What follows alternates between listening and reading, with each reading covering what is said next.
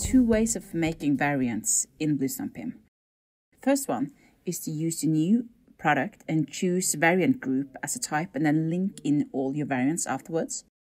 Or easiest is to actually find all the different variants that you want to mark together. And then make a new variant group. You write in your name and a number.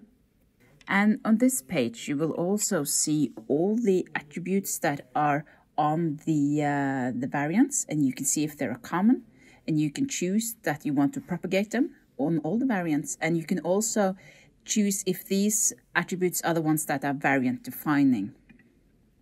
So in you've written everything, you click on um, create, and your new variant group product is made.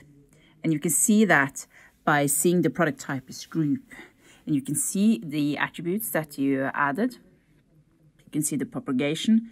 The uh, If you want to have it as a required field, you can also lock the value on the attribute. And you can then set if the, um, the attribute is the variant defining.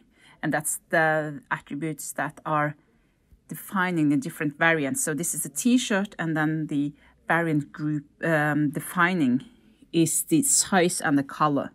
So that's that's what's different on the um, the variants. Uh, this uh, variant group is just a, a, regular product. You can add it to categories. You can have it um, connections. You can add media, tasks. You can of course hit history and you can translate it. But you have a new tab which is variants, and you click on this one.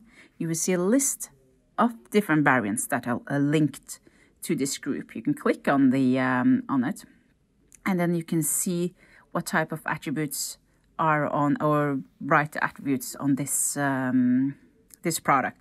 You see VLA, which is a variant level attribute. So you can see that this attribute is uh, inherited from the um, from the group level. You can of course unlink it, or if you go back to the um, to the variant group and you click on the variant uh, tab, you have different options here as well. You can choose to see all the variants in the grid, which is the first option. You can choose to add a new variant. So then you add a new variant from the existing products that you have.